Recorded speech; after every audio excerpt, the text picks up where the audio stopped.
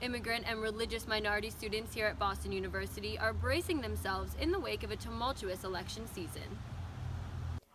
Valdia Barapucci feels like she is a target for three reasons. She is a woman, she is a Muslim, and she is an immigrant.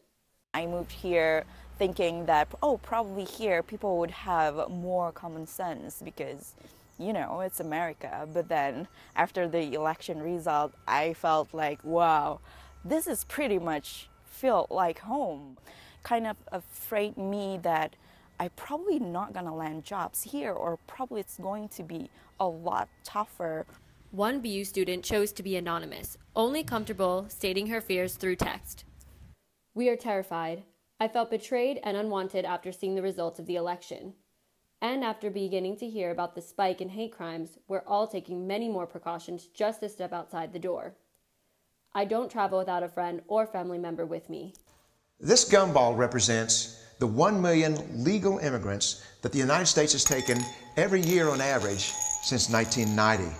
Roy Beck, whose firm is Numbers USA, supports Trump's immigration plans. They are not an official advisor, but reaffirm that millions of immigrants will be deported.